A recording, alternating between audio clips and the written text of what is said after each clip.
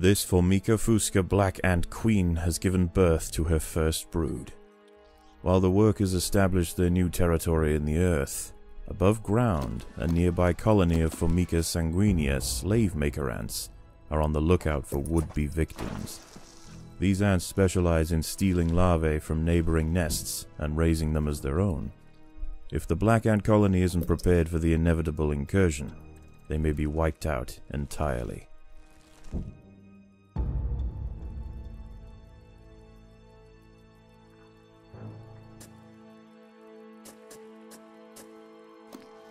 Unfortunately, the queen chose her colony's home poorly. This earth is infested with Gryllotalpa gryllotalpa, the European mole cricket. Growing up to 45 millimeters in length and with powerful forelegs, these beasts are masters of tunneling. The crickets have had their fill of roots for the day, and are now on the hunt for protein-rich invertebrates. This queen and her brood are in imminent danger of being devoured.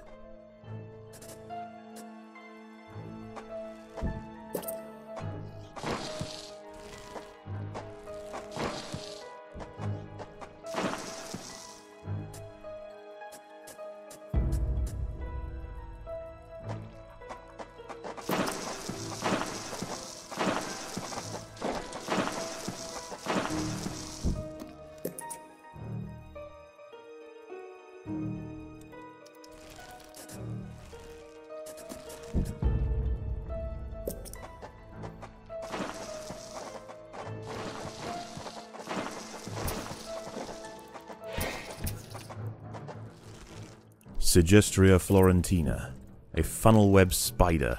She is large, fast, and equipped with a deep, powerful bite. Her lair is carpeted by sheets of silk woven between tripwires that radiate out from the entrance.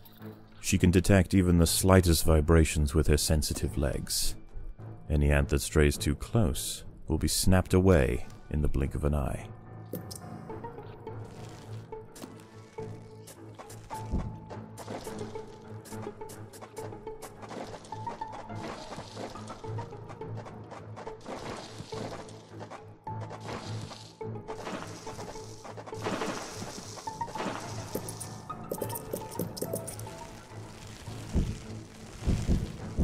A Sanguinea scout has sensed the presence of the Black Ants. A raid on the colony is now inevitable. The question remains as to whether they will merely pillage a generation of young, or wipe out the colony entirely. In the end, it will come down to the tenacity of the defending ants.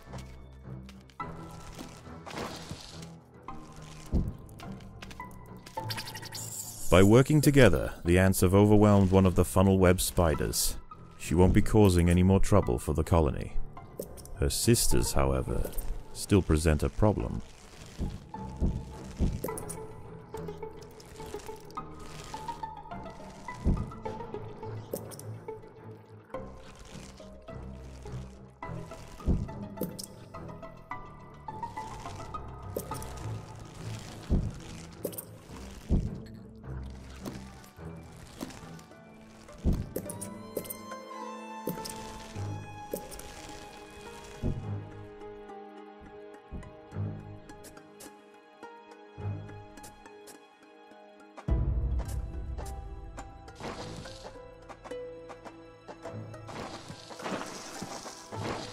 There are intruders in the nest.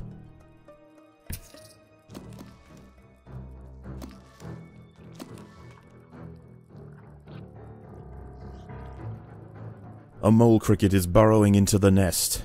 The ants must mount a defense quickly, or their brood will be forfeit. The raiding party has arrived. The slave makers will head straight for the brood chambers. They must be stopped.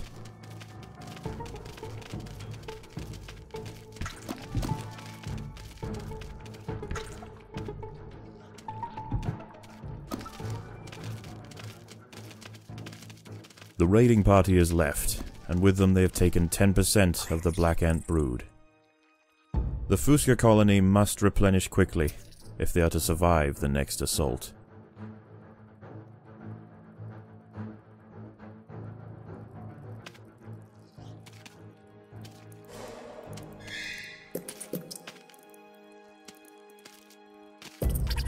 The colony is starving. There's not enough food to feed the new brood.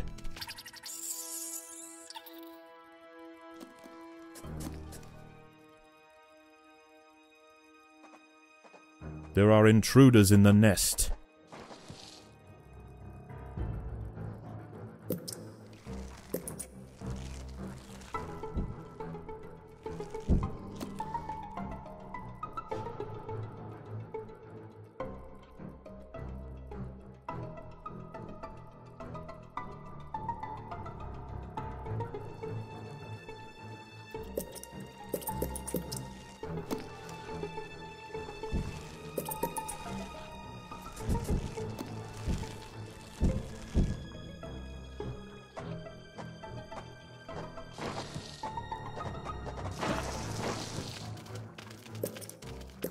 Slave makers are back. They can sense larvae, and they want their share.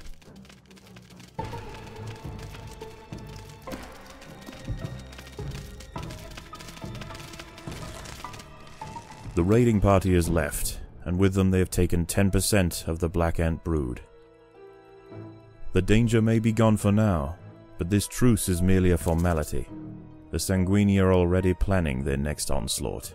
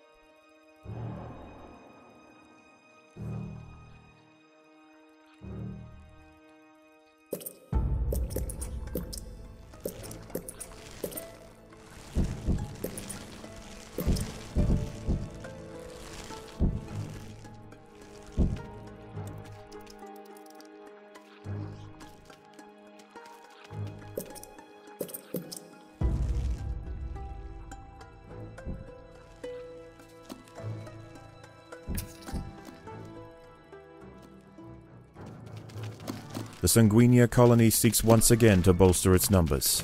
A battalion of slave makers charge into the nest. Mole crickets are burrowing into the nest. The ants must defend in multiple locations at once. The raiding party is left, and with them they have taken 10% of the black ant brood. The queen must lay quickly to return the colony to its former strength.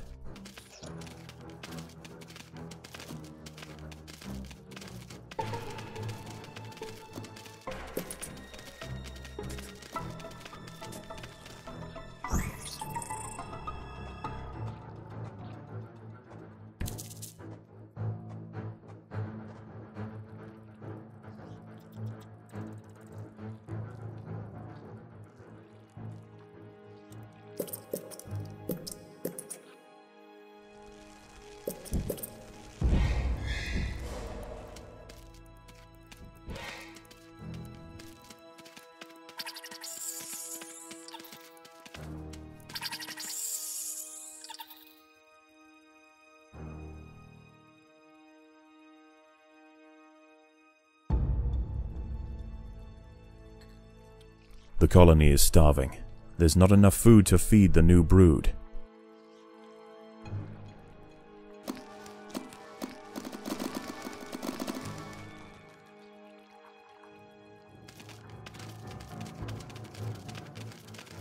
There is no respite from the culling. The Sanguinea will subjugate or exterminate.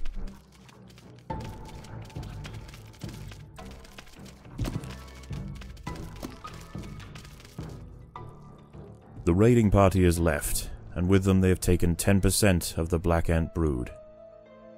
It is only a matter of time before they return.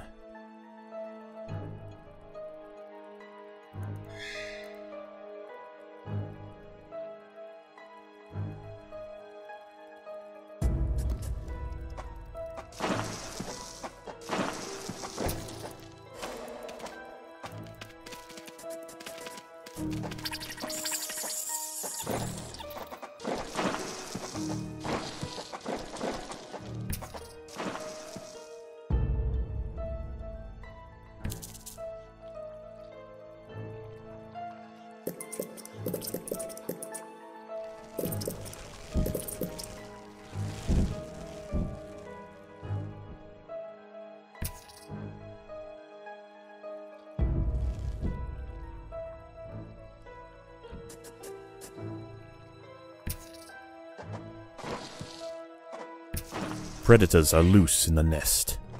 The larvae must be protected.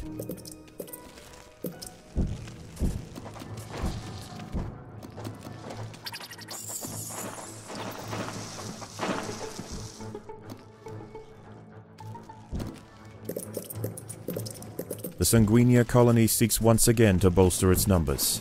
A battalion of slave makers charge into the nest.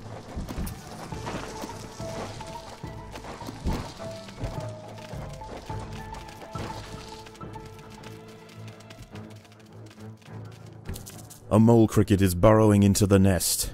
The ants must mount a defense quickly, or their brood will be forfeit.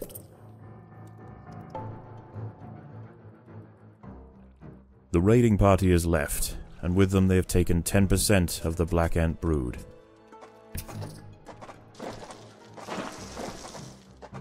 There are intruders in the nest.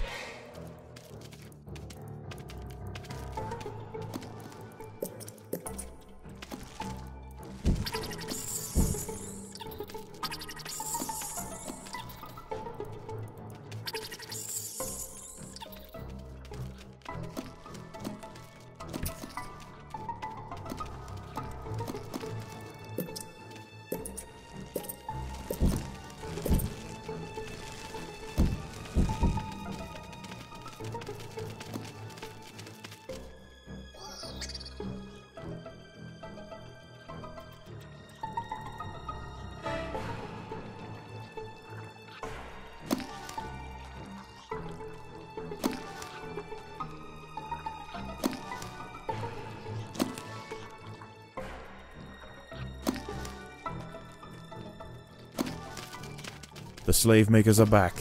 They can sense larvae, and they want their share.